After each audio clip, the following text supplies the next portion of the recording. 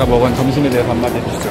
오, 맛있었어요. 얼마 나왔지? 유로? 7유로. 그러면 커피 두 잔에 파니니 원래 야외 테이블 같은 경우는 1.5배에서 2배 정도 비쌌거든요. 근데 7유로는 뭐 밀란 완전 중심부에서 먹은 거 치고는 싸게 잘 먹었다. 어, 그러면 이게 실내에서 먹으면 한 거의 반값이니까 15,000원에서 만 원 사이에서 먹을 수 있겠네. 12유로 정도면 있어요. 15,000원 정도 되니까.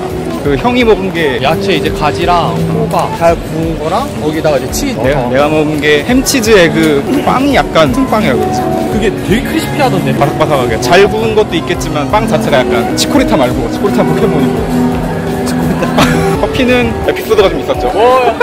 여기 되게 친절한 아저씨가 통역해 주신다고 내가 cold beverage를 먹고 싶다고 했더니 아이스 아메리카노 있다 그래서 먹었는데 따뜻한 커피가 또 한 잔 나와서 뜨겁지만 또 잘 먹었습니다. 근데 아이스 아메리카노 마시고 싶다.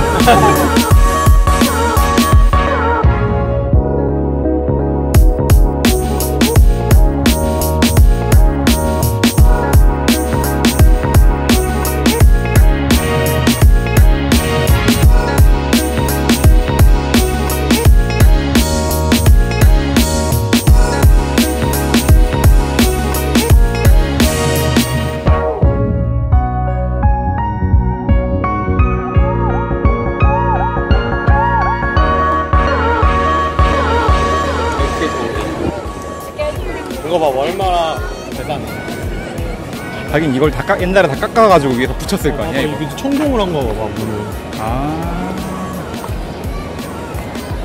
이거 세상에서 제일 하나야 이제 또 피렌체에 가서 피렌체 도움하면 또 다른 느낌이야